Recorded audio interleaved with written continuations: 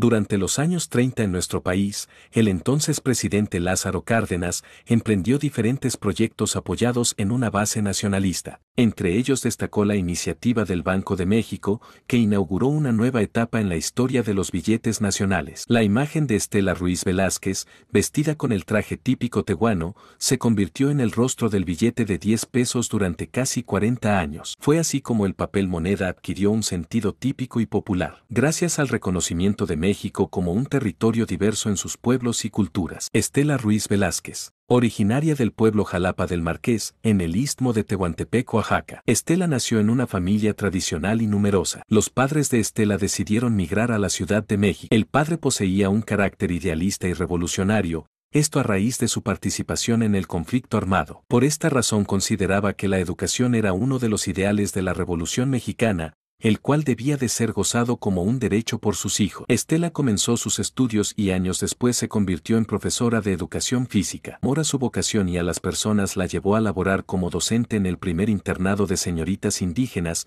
la Casa del Estudiante Indígena. Pero, ¿cómo? Llegó Estela al billete de 10 pesos, el gabinete presidencial organizó un concurso de trajes regionales en 1936. El certamen se llevó a cabo en el antiguo Frontón México. Todas las concursantes eran provenientes del Istmo y, según las reglas, debían estar ataviadas con el traje típico de Tehuana. Curiosamente, durante el certamen fueron seleccionadas entre las cinco finalistas Estela y dos de sus hermanas, Elvia y Flérida. El jurado eligió de manera unánime la foto de Estela como la ganadora. Lázaro Cárdenas, al ver la imagen de la joven tehuana de 26 años, quedó deslumbrado por su belleza, e inmediatamente mandó la foto a la American Bank Note para la impresión del peculiar billete. Una curiosidad es que, Estela nunca recibió pago alguno por la difusión de su imagen. Aún así disfrutó de grandes oportunidades como la de asistir en representación del país a la Feria Mundial de Nueva York en 1940,